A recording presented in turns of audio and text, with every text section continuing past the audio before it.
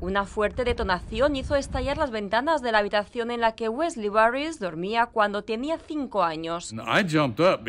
Me levanté de un salto porque los cristales me golpearon y después, claro, solo el ruido de los vidrios pegando contra la pared me desvelaron. Salté de la cama y cuando lo hice toda la habitación brillaba y no sabía lo que pasaba.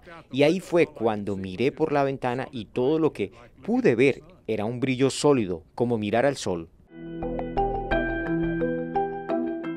Sin saberlo en ese momento, Wesley fue testigo de la primera prueba nuclear llevada a cabo por el científico Robert Oppenheimer y su equipo el 16 de julio de 1945 en el desierto de Nuevo México en un lugar escogido porque era un sector remoto. Sin embargo, estudios recientes demuestran que para el momento había más de 13.000 personas en el área. Eso no es ni remoto ni inhabitado. Eso no es un vasto desierto en el que nadie vive. Ellos no nos vieron. Ellos contaban con que éramos incultos, poco sofisticados e incapaces de defendernos por nosotros mismos y nos bombardearon. Wesley asegura que fruto de la exposición a la radiación, sus hermanos y sus padres sufrieron cáncer. Aunque no existe un estudio detallado sobre el deterioro de la salud de las personas en este área, médicos aseguran de forma particular que han hecho varios diagnósticos de cáncer a lo largo de los años.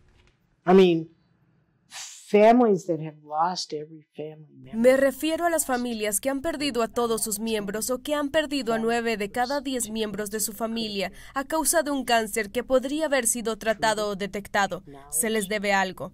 Déjame decirlo de esa manera. Se les debe al menos el reconocimiento de que también contribuyeron al esfuerzo bélico y ni siquiera se les reconoce su existencia, lo cual está mal.